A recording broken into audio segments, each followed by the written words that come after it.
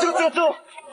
这是一九九六年四万韩国军警追杀二十四名朝鲜特工的真实影像，也是朝韩边境上规模最大的军事对峙，揭露了朝鲜特种兵真实的一面。面对四万人的搜捕，结局却很意外。此后这件事成为韩国的禁忌。那么朝鲜特工的下场是什么？韩国又是如何应对的呢？自朝鲜战争结束后，韩国和朝鲜双方派特工渗透已经成为家常便饭。但这样的平衡并未持续多久。一九九一年，苏联解体，朝鲜失去强硬的。靠山。反观对面的韩国，在美国的帮助下蒸蒸日上，但靠着强硬的武器，朝鲜也并不担心韩国会再次南下。直到一九九四年，朝鲜领导人金日成突然逝世，这让朝鲜有了危机感，加大对特工的培养和对韩国的渗透成为首要任务。经过双方这么多年的斗争，情报也不是那么容易获取的。一九九六年，金正日派遣一支由二十六人组成的敢死队，乘坐鲨鱼级潜艇渗透至韩国东海岸的江陵市附近，队伍中包括二十一名潜艇。工作人员、两名护卫人员和三名特工。特工的任务是调查驻韩美军的军事设施以及美韩的态度。潜艇的工作人员则是对沿海的设施拍照。出发前，队员签下军令状，不完成金正日将军下达的任务，绝不返回。九月十五日晚上七点三十分，潜艇抵达约离韩国海岸线八公里处。三名特工和两名护卫人员带着呼吸器离开了潜艇。一个半小时后，他们出现在韩国的海岸上。两名护卫人员任务完成，就此返回。经过一。一天的收集任务后，次日潜艇按照约定靠近韩国东海岸接应特工小组撤退，但不知道出于什么原因，小组成员并未出现。无奈，潜艇再次回到国际海域等待。又过一天后，潜艇再次期望试图第二次接应特工小组。晚上九点，虽然三名特工顺利回撤，但是潜艇却在江陵附近的安宁海滩搁浅。经过两个小时的努力，潜艇还是死死卡在海底，并且底部已经遭到严重损坏。队长果断下令放弃潜艇。走之前，他们还。试图烧一把火，将证据毁灭。二十三点五十分，二十六名朝鲜人带着所能携带的武器和装备上了海滩。十八日凌晨一点，一名路过的韩国司机看到一群鬼祟的人在高速公路附近闲逛，远处的海滩上还有一团巨大的雾，这引起了他的怀疑，直接报警。很快，韩国陆军和警察赶往该地，开始进行封锁和搜索朝鲜渗透人员。